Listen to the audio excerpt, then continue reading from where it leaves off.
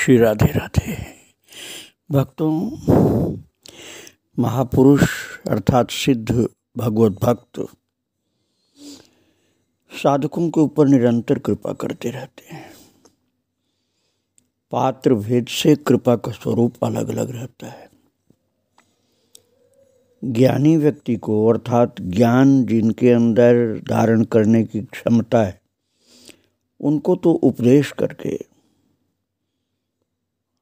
अर्थात अपने पवित्र बुद्धि के द्वारा मार्गदर्शन करके संतुष्ट कर देते हैं।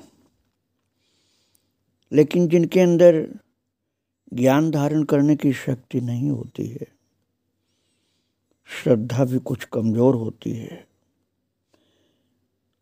तो उसके ऊपर महापुरुष, ये संत लोग जब कृपा करते हैं तो कुछ अपने चमत्कार भगवान की कृपा से दिखाते हैं। और तब वो भक्त लोग, साधक लोग, पूर्ण श्रद्धावान हो जाते हैं और भगवान की भक्ति में लग जाते हैं। ऐसे ही खाकी बाबा भी करते थे, जो शांत स्वभाव के श्रद्धावान होते थे, उनको तो उपदेश कर देते थे। और जो जल्दी से समझ में जिनके नहीं आता था, श्रद्धा कमज़ोर होती थी, उनको चमत्कार दिखा देते थे। हनुमान जी की शक्ति तो थी ही उनके अंदर। तो जैन कॉलेज आरा के अंग्रेज़ी प्राध्यापक श्री जगदीश पांडे की पुत्री के विवाह की बात थी, भक्तों। वे खाकी बाबा के शिष्यों में से थे। विवाह समहूता गाँव भभुआ स्टेशन से कुछ मील हट करके हो रहा था। खाकी बाबा को भी उस भक्त ने बहुत विनती की कि बाबा आप कृपा करके पधारिए। तो बाबा के ऊपर तो भाई ऐसी कोई बात थी नहीं कि कोई संग, कुसंग का असर पड़ने वाला तो सिद्ध पुरुष थे। बोले, ठीक है, मैं वहाँ भी आ जाऊँगा। शादी में आने पर भी मेरा मन तो इधर उधर भटकने वाला नहीं है। तो पहुँच गए। विवाह के दिन की बात है बारात पहुँच चुकी थी, तभी आकाश में बादल घेरने लगे। पूरा आकाश बादलों से ढक गया और बूंदा बूंदी होने लगी। विवाह में विघ्न पड़ने की आशंका देख करके पांडे जी ने पूज्य बाबा से बादल हटाने की प्रार्थना की। बाबा, ये बादल यदि नहीं हटे और बरसात हुई तो सब काम बिगड़ जाएगा।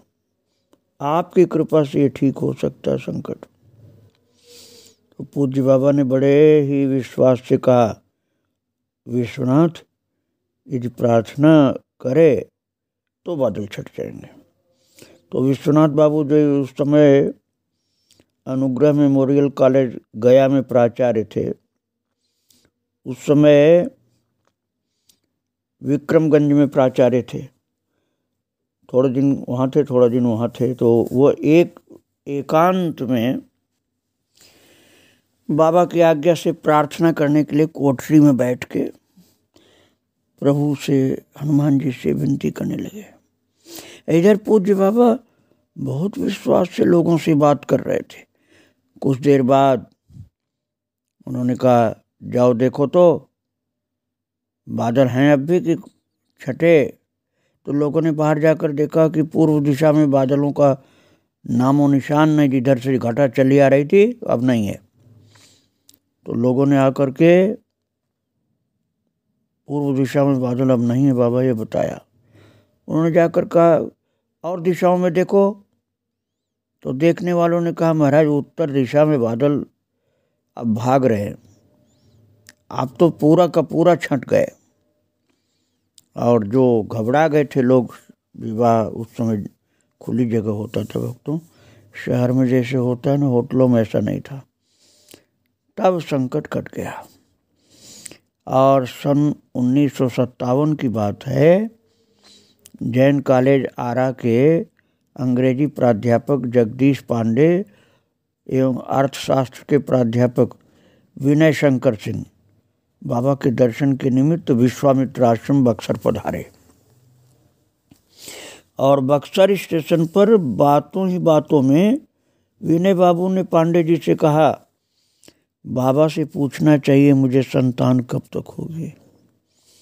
तो पांडे जी ने कहा, पूछ लेंगे। स्टेशन पर ही निश्चित हो गया कि पांडे जी ये प्रश्न पूछेंगे। और जो ही उन्होंने आश्रम पहुंचकर बाबा के कमरे में प्रवेश किया तो उन लोगों ने देखा कि बाबा आँखें बंद किए हुए लेटे हुए थे और कुछ बड़बड़ा रहे थे। ध्यान देने पर उन लोगों ने सुना, विनय के घर में वो आ रहा है।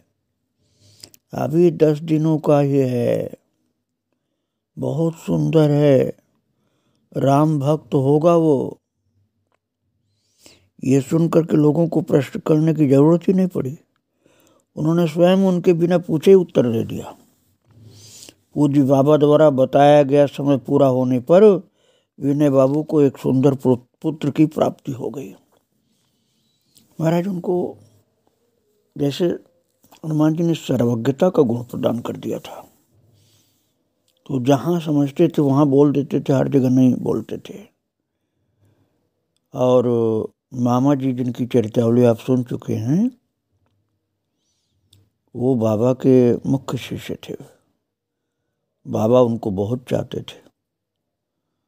तो एक बार मामा जी वृंदावन में थे और जगन्नाथ धाम के महाराज जी पहुँचे। महाराज जी ने मामा जी से अपने साथ जगन्नाथ धाम चलने को कहा।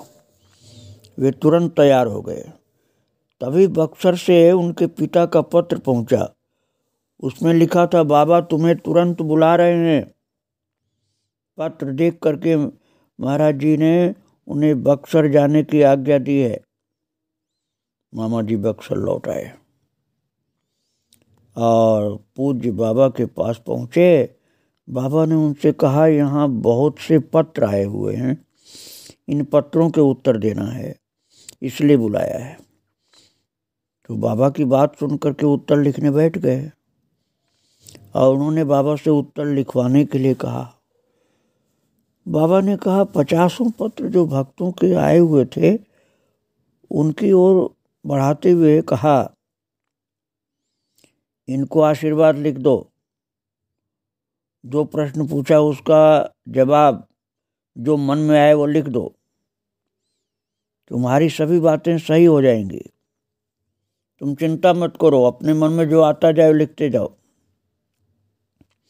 उन पत्रों के उत्तर लिख जाने के बाद बाबा ने कहा, एक पत्र मैं लिखवा रहा हूँ, उसे तुम लिखो। मामा जी लिखने लगे। पत्र था गोरखपुर स्थित गीता प्रेस के संस्थापक श्री जयदयाल जी गोविंदका के नाम। बाबा ने लिखवाया, आज से कोई चालीस वर्ष पहले तुमने अपने गाँव बांकुड़ा में मुझसे एक प्रश्न किया था। उस समय मैंने कहा था, समय आने पर उत्तर दूँगा। वो समय आ गया है। तुम्हारे लिए मकान तैयार है। सुविधा के लिए सभी प्रबंध किए जा चुके हैं। केवल पंद्रह दिन का समय यहाँ से प्रस्थान करने का रह गया है। इस बीच जो जी में आए वो कर लो। अंत में पूज्य बाबा ने एक गीत लिखवाया, खेलत रहली रामा सुपली मौनिया की, आहे रामा। वो भोजपुरी में गीत था भक्तों। तो उसमें ये भी लिख दिया था, अचके में ऐले पिया ले आवन हो रामा। अर्थात तो पिया तो प्रियतम भगवान, ये अचानक आए और ले जाने का समय हो गया था। तो पूज्य बाबा ने उस पत्र को लिफाफे में बंद करवा करके पता लिखवाया और उसे तुरंत आरएमएस में छोड़ने की आज्ञा दी, जिससे जल्दी से जाए। मामा जी ने जिज्ञासा में पूछा, बाबा, क्या बात है? तो बाबा ने कहा, वो अब केवल पंद्रह दिनों के लिए संसार में हैं।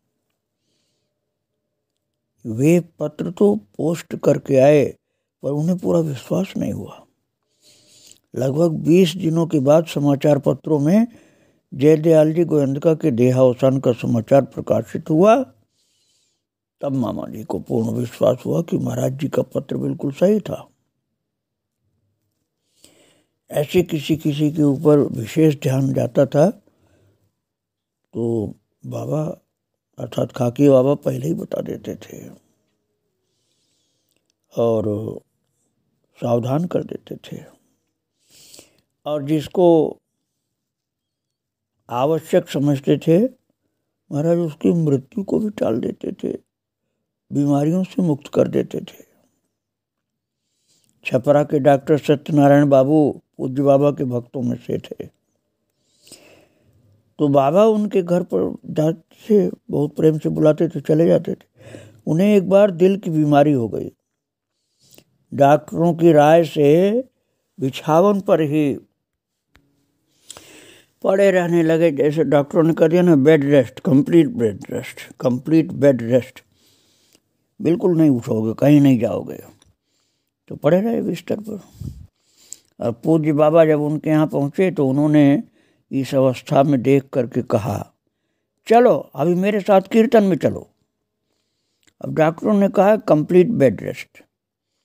और खाकी बाबा बोले, उठो, चलो मेरे साथ कीर्तन में। तुम्हें ये सब कुछ भी नहीं यहाँ है। अरे, जो तुम सोच रहे हो बात नहीं, चलो, उठ जाओ, कोई बेड रेस्ट नहीं। और डरते डरते बाबा के साथ कीर्तन में चले गए।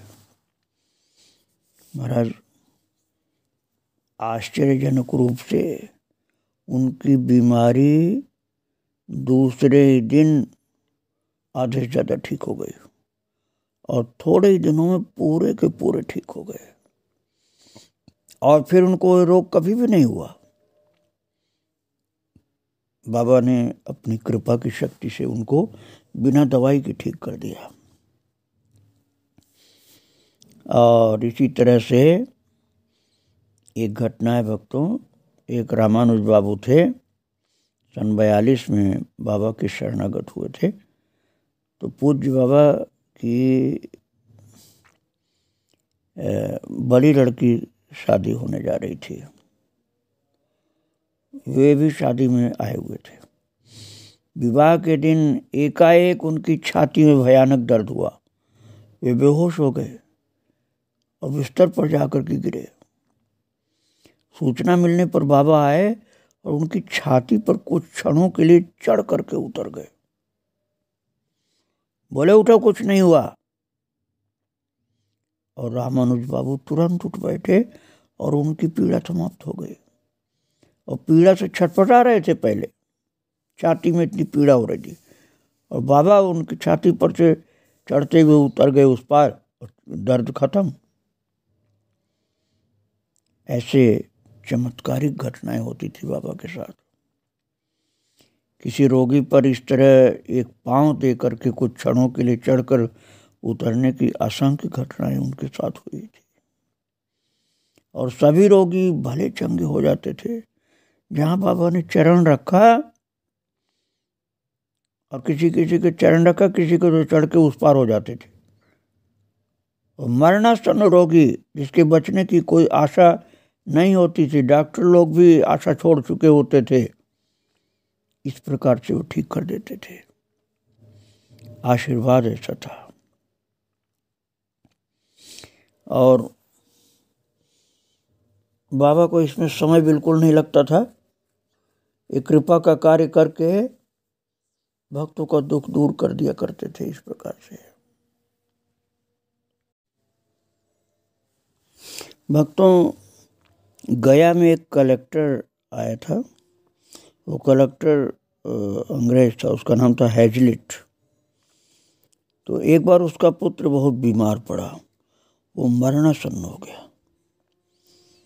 तो गणेश दत्त सर ने पूज्य बाबा से आग्रह किया कि उस पर कृपा की जाए। पूज्य बाबा मान गए और उनके साथ जाकर के हैजलिट के पुत्र को एक एंड लगाई। मतलब अपने चरण की एक ठोकर मारी। और कुछ ही दिनों में वो बिल्कुल स्वस्थ हो गया, थोड़े दिनों में। हैजलेट उसी समय से पूज्य बाबा का भक्त हो गया, कलेक्टर जो था। और जब उसकी बदली यूपी में हुई, बिहार से यूपी में हुई तो वो पूज्य बाबा के दर्शन के लिए बराबर कलेक्टर हो जाता था। बाबा खद्दर पहना करते थे और उन दिनों आंदोलन का ज़ोर था। तो खद्दर पहनने वालों पर अंग्रेज़ों की बड़ी क्रूर दृष्टि रहती थी। खद्दर गांधी जी के आज्ञा से सब लोग पहनते थे कि हमें विदेशी कपड़ा नहीं पहनना, हमको खद्दर पहनना है, खादी पर धारण करना है। और बाबा भी खादी पहनते थे। अंग्रेज़ों की बड़ी क्रूर दृष्टि रहती थी। तो पूज्य बाबा से कोई बुरा व्यवहार न करे, इसके लिए हैजलिट ने बलिया के कलेक्टर श्रीवुड को हिदायत दी कि कोई पूज्य पूज्य बाबा पर नज़र नहीं उठावे। तुम लोग ये मत समझना कि खादी पहने हैं तो उनको सताओगे। आंदोलन के दिनों में जब गाँव के गाँव अंग्रेज़ों के दमन चक्र के शिकार हो रहे थे तो श्रीवुड ने स्वयं तत्पर होकर के बाबा के गाँव में रिटायर की रक्षा की। क्योंकि वो कलेक्टर जो था ना, हैजलिट, उसने इस कलेक्टर श्रीवुड को कह दिया था कि ध्यान रखना बाबा का, ख्याल रखना, बाबा पूज्य पुरुष हैं। तो उनके गाँव में रिटायर की रक्षा वो कलेक्टर करता रहा। वो आता और बाबा को प्रणाम करके चला जाता। तो जब कलेक्टर खुद बाबा की सेवा में था तो फिर सिपाही लोग कैसे आते बाबा को सताने के लिए? नहीं तो खादी पहनने वाले को बहुत सताते थे अंग्रेज़ लोग। ऐसे बा, बाबा की कृपा हो जाती थी जिसके ऊपर उसकी बुद्धि सुधर जाती थी। और पटना हाई कोर्ट के मुख्य न्यायाधीश श्री लक्ष्मीकांत झा के आवास पर पूज्य बाबा की भेंट डॉक्टर यदवीर सिन्हा से हुई। बाबा ने उन्हें देखते ही कहा, तुम खून के केस में फंसे हुए हो? बाबा को किसी ने बताया नहीं था। बाबा ने डॉक्टर यदवीर सिन्हा को देखते हुए बोल दिया, तुम खून के केस में फंसे हुए हो? रघुवीर बाबू ने कहा हाँ बाबा, आपने बिल्कुल सही कहा है। तो बाबा ने कहा, तुमने तो कोई अपराध या आघात नहीं किया है। निश्चिंत रहो। हनुमान जी तुम्हें रिहा कर देंगे। और यदवीर बाबू जो थे, चिंता में परेशान थे कि खून के केस में फंस गए हैं। लेकिन बाबा की बात सुन करके चिंता उनकी बहुत कम हो गई। बाबा का आशीर्वाद फलीभूत हुआ और केस की सुनवाई होने पर उनको बेइज्जत रिहा कर दिया गया। ऐसे बाबा की कृपा होती थी भक्तों के ऊपर। जो उनके ऊपर श्रद्धा रखते थे, उनके ऊपर तो बहुत कृपा होती थी। खाकी बाबा की ख्यात सुन करके भारतीय स्वतंत्रता संग्राम के प्रमुख सेनानी डॉक्टर राजेंद्र प्रसाद उनके दर्शन के लिए मेरिटार पहुँचे। बातचीत के क्रम में पूज्य बाबा ने उनसे कहा कि सन उन्नीस में भारत आज़ाद होगा और 26 जनवरी 1950 को वे भारत के राष्ट्रपति बनेंगे। पहले बता दिया बाबा ने। तो पूज्य बाबा की भविष्यवाणी बिल्कुल सच साबित हुई। जब सन सैतालीस में भारत के आज़ाद होने के बाद 26 जनवरी 1950 को राजेंद्र बाबू भारत के प्रथम राष्ट्रपति बनाए गए। तो अपने शपथ ग्रहण समारोह में श्री राजेंद्र बाबू ने पूज्य बाबा को खास तौर से दिल्ली बुलाया था। बड़ी प्रार्थना करके। और पूज्य बाबा से आशीर्वाद तिलक प्राप्त करने के लिए विनती किया। तो बाबा से आशीर्वाद तिलक प्राप्त किया।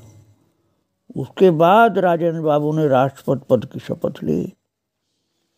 राष्ट्रपति पद की शपथ लेने के पहले बाबा का आशीर्वाद तिलक उनसे, उनके लगवाया और उसके बाद फिर राष्ट्रपति की शपथ ली। उस, उसका चित्र दिल्ली के प्रमुख समाचार पत्र हिंदुस्तान टाइम्स में छपा था। शपथ लेने के पहले खाकी बाबा तिलक लगा रहे हैं, आशीर्वाद दे रहे हैं। क्योंकि राजेंद्र प्रसाद डॉक्टर जो प्रथम राष्ट्रपति थे, वो खाकी बाबा के भक्त थे। तो उन्होंने विनती किया था कि मैं शपथ लूँ, उसके पहले आप मेरा तिलक कर दीजिएगा, तभी मैं सुरक्षित रहूँगा और अपना कार्य कर पाऊँगा। भक्तों, सन उन्नीस सौ सड़सठ की बात है। उस समय बिहार के राज्यपाल श्री अनंत सैनम आयंगार थे। और पूज्य बाबा की ख्यात सुन करके वे दर्शनों के लिए व्याकुल हुए। और बाबा का जो आश्रम बक्सर में है, वहाँ पधारे। तो उस समय तक महर्षि विश्वामित्र कॉलेज में विज्ञान की पढ़ाई शुरू नहीं हो पाई थी। तो पूज्य बाबा विज्ञान की पढ़ाई शुरू करने के लिए प्रयत्नशील थे। तो राज्यपाल श्री आयंगार जी ने पूज्य बाबा से कुछ लीला दिखाने की प्रार्थना की। बहुत विनम्र होकर की प्रार्थना की। तो बाबा ने शर्त रखी कि कॉलेज में विज्ञान की पढ़ाई शुरू करने का आदेश कर दो। तो आपकी इच्छा स्वीकार की जा सकती है। तो राज्यपाल ने उनकी शर्त स्वीकार कर ली सहर्ष और कहा कि पटना लौटने पर आदेश जारी करा दूँगा। और उसके बाद पूज्य बाबा ने उनका मुँह और नाक बंद करने को कहा, राज्यपाल को, कि नाक और मुँह बंद करो। तो आयंगार जी ने अपने हाथों से बाबा के मुँह और नाक को बंद किया। पूज्य बाबा समाधि पर बैठ गए। तभी कमरे में ओंकार की ध्वनि गूंजने लगी। बहुत तीव्रता से ओंकार की ध्वनि गूंजने लगी। और वहाँ पर उपस्थित सभी लोगों को लगा कि ध्वनि बाबा के शरीर से आ रही है। लेकिन उनका मुँह और नाक तो स्वयं राज्यपाल अयंगार जी बंद किए हुए थे। तो जब नाक भी बंद है, मुँह भी बंद है तो आवाज़ कहाँ से आएगी? अब दूसरा कोई होता तो कहे तो कहता कि हमारा दम घुट जाएगा, छोड़ो। लेकिन बाबा तो महान पुरुष थे, अद्भुत थे। उनकी नाक मुँह सब बंद किया हुआ का, आपने खुद ही करवाया था बंद। तो महाराज, ओमकार की जो धुन गूंजने लगी ज़ोर से तो लोग चकित हो गए, कहाँ से आवाज़ आ रही? बाबा की जय जयकार सब करने लगे। बाबा के जीवन में अनेक इस प्रकार से चमत्कार की घटनाएँ घटती थी भक्तों। और इन लीलाओं के द्वारा बाबा ने अपने अनेक भक्तों के आस्था, विश्वास की रक्षा की और अनेक लोगों को भगवत परायण बनाया। बाबा सोचते थे कि यदि ये लोग कुछ भी चमत्कार नहीं देख पाएँगे तो ये नास्तिक हो जाएँगे और दूसरों को भी नास्तिक बनाएँगे। इसलिए कृपा कर देते थे। हर एक व्यक्ति के साथ घटी घटनाओं को बता पाना संभव नहीं भक्तों, क्योंकि अनंत लीलाएँ हुई ऐसी बाबा की ये लीलाएँ उनकी उस शक्ति की परिचायक हैं, जो उन्हें अपने इष्ट देव की आराधना से प्राप्त हुई थी। अपने इष्ट देव के परमानुग्रह से प्राप्त दिव्य शक्ति का उन्होंने कभी गलत प्रयोग नहीं किया। कभी भी नहीं। जैसे कुछ सिद्ध लोग होते हैं ना, किसी को सताने के लिए, मारने के लिए, उच्चाटन के लिए, मारण प्रयोग, उच्चाटन प्रयोग और दया से हीन निर्दयता का व्यवहार कर देते हैं, वो सब बाबा के जीवन में कभी नहीं था। दूसरों का दुख, दर्द दूर करते थे, श्रद्धा, विश्वास बढ़ाते थे, सबका कल्याण करते थे। सिद्धि के द्वारा कभी भी किसी को कष्ट नहीं दिया, गलत प्रयोग नहीं किया, सदा सुख ही सुख दिया सबको। और कहते थे, भाई, ये तो अंतिम अस्त्र के रूप में प्रयोग करता हूँ। समझ में आ जाए, उपदेश धारण कर लो, मंत्र जपो, भगवान का ध्यान करो, भगवान का नाम जप करो, लीला चिंतन करो प्रभु के चरित्र श्रवण करो। इसमें कल्याण है। जब तुम्हारी श्रद्धा डामाडोल रहती, तभी मैं ये चमत्कार करता हूँ कि जिससे तुम संभल जाओ। तो इस चमत्कार वाले अस्त्र से लोगों की निष्ठा धर्म धर्म में बनाए रखते थे कि धर्म से इनकी निष्ठा हट न जाए और कुतर्कियों को मुँह तोड़ जवाब दिया करते थे। जो कुतर्की लोग थे, जिनकी श्रद्धा बहुत कमज़ोर होती थी, उनको उत्तर देने के लिए भी कभी कभी ऐसी लीला महाराज जी किया करते थे। बाबा इस प्रकार से भगवान की सेवा का कार्य करते थे। भगवान की तरफ़ जीव चले, अपना उद्धार करे, प्रभु की भक्ति में लगे। यही उद्देश्य रहता था खाकी बाबा का और इसी उद्देश्य को देख करके कभी कभी बहुत कुतर्की जो होता था, जो भगवान को नहीं मानता था, भक्ति नहीं करना चाहता था, उसको सही रास्ते पर लाने के लिए भी चमत्कार कर दिया करते थे। ये बहुत ही कृपा का उनका स्वरूप होता था। और भी आगे आप श्रवण करेंगे। आज महाराज जी को प्रणाम करके यहीं विराम दे रहा हूँ। श्री राधे राधे, जय श्री राधे